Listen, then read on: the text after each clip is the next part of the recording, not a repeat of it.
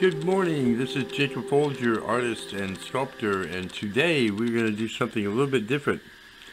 I'm going to show you how to take something that a lot of us use on a regular basis and turn it into a finish for this uh, little minimalist uh, man that I made in another video yesterday.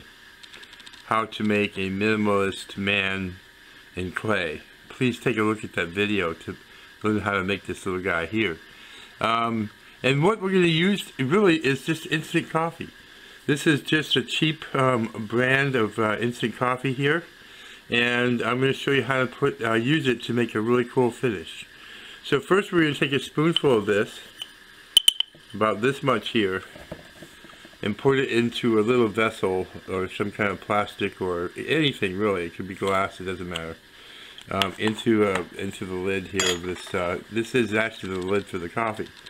And then I'm going to take just a little bit of water and pour it in, just a little bit more than enough to get it wet. And I'm going to stir it up. And what I'm doing basically is I'm making a stain. Well, we all know that coffee will stain, right? If you get on your clothes, it'll stain your clothes. If you get on the carpet, it'll stain the carpet. Well, if you put it on a sculpture, it'll stay in the sculpture too. So first we're going to get this mixed up here.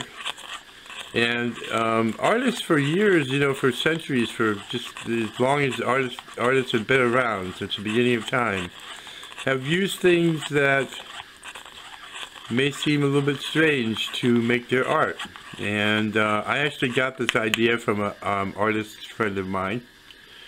Um, and her name is Kathy and she's an established uh, professional artist um, and um, even illustrates children's books. So she's she's really been around for a while and she's well established. So we get that mixed up pretty good like that. Then we the other uh, item we're going to use is uh, Johnson's paste wax. It's my favorite uh, paste wax. I use it all the time. Been using it for years. I do endorse it, but I'm not a it's not a paid endorsement in case you're wondering. I'm just saying I, I like this uh, this Johnson's paste wax. Um, we're gonna before we start putting the coffee on, I'm just gonna use the the wax as a resist to resist some of the coffee so it doesn't just soak right into the sculpture.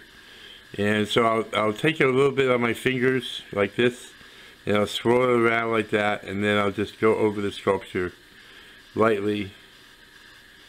And keep in mind that the leg, this uh, isolated leg here, is going to be very fragile. So we don't want to break that. So just be careful not to uh, press too hard on it when you're putting it on.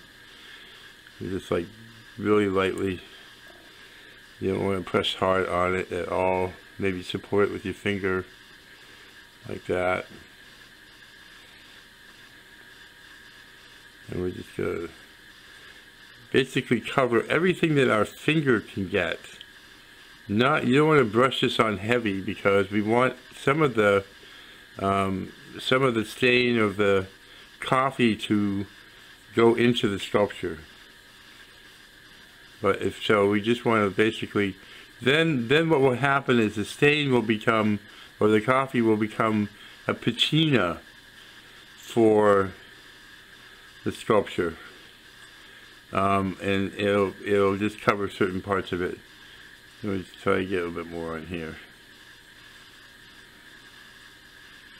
Oh, by the way, people, I often let people know what time I start my work in the morning.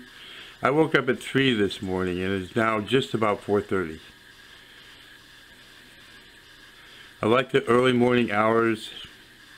It's just a good time for me. I tend to be more creative and more interested in doing things at that time than would be doing otherwise. Okay, so as soon as it's basically on there, um, the next step is to take a paintbrush and it doesn't have to necessarily dry, although you don't want to like rub it really hard or anything. Um, but you take a, the paintbrush, dip it in to the um, stain or the coffee in this case, and just put it on.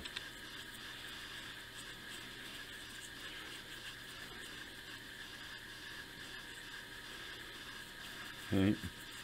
And just work it into all the detail of the piece.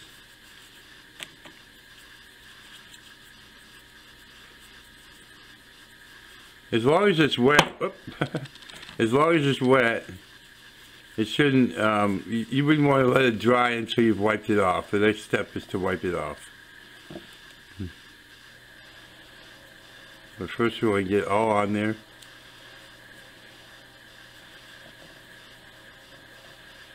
Be careful of the leg. Keep in mind that, that the leg is, uh, I've been dipping it into the wax. Did you see me doing that? I'm sorry. I'm not quite awake yet. okay, now I'll just take this little, uh,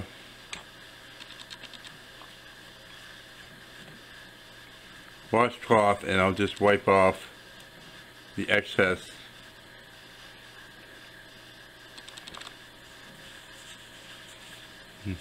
okay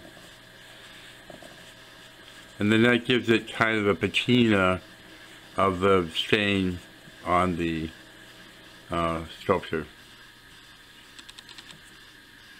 and you can go over it again if you like yeah the idea is not to dip, keep dipping it in the wax but I wasn't really paying attention. And you know, I don't rehearse these videos if you haven't figured that out yet.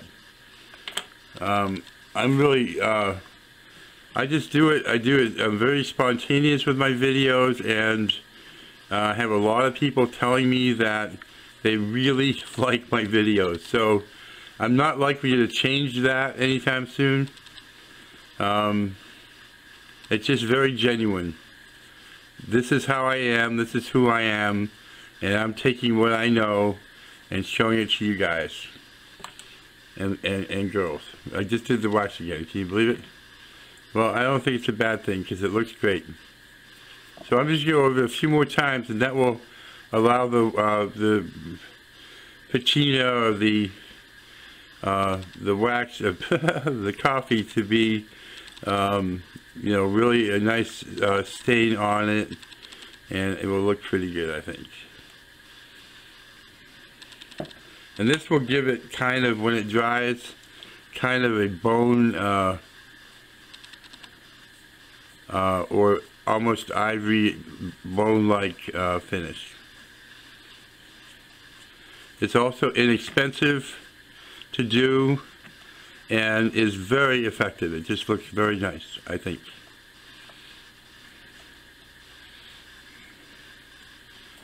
So there you go.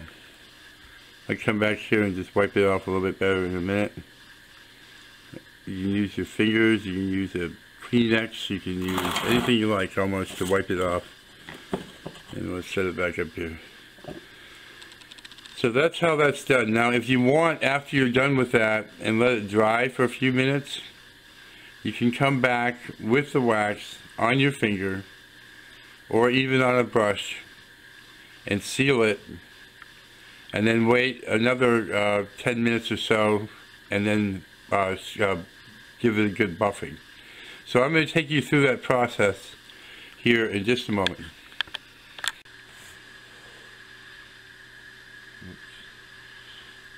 Okay, and now we're going to um, go ahead and coat it in wax here. And um, it's just a light coating.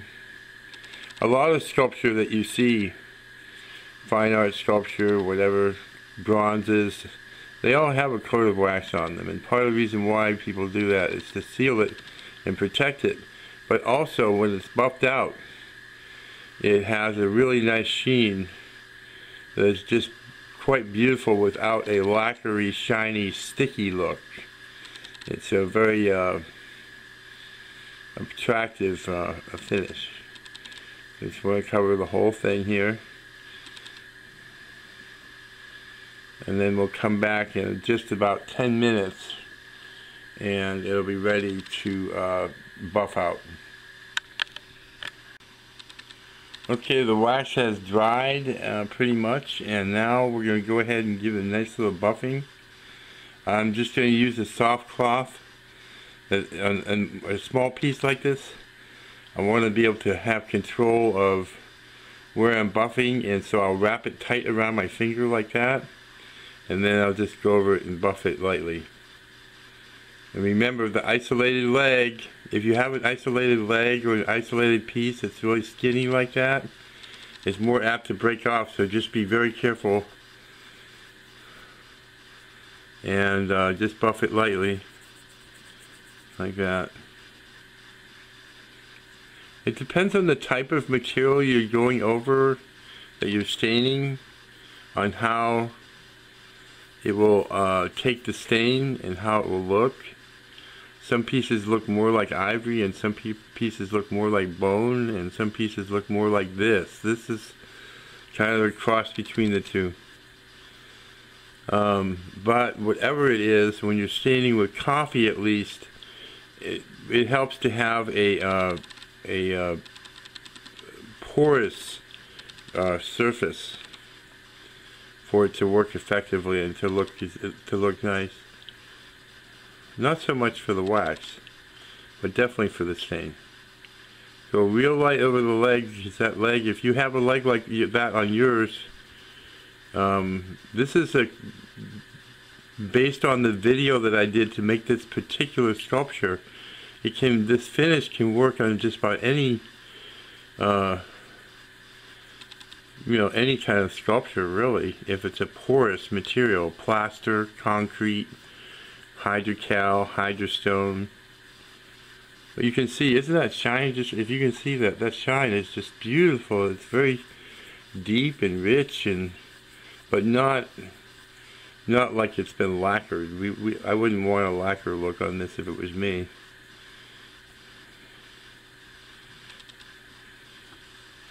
And that's about it. He's very cool. It's a really nice little piece. I hope you'll make one and let me know that you did and then also that you uh, maybe send me a picture or photo.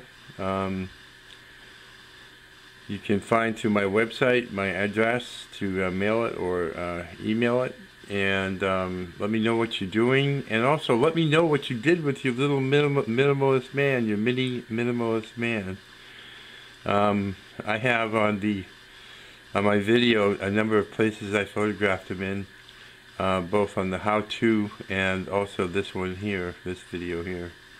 So um, get some ideas. It's fun. You know you can go to some public place and just uh, you know put them put sit them there somewhere and let people see them and see how they react.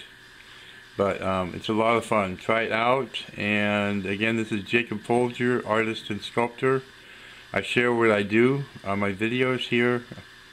And um, please subscribe to my channel and visit my website at jacobfolger.com y'all have a great morning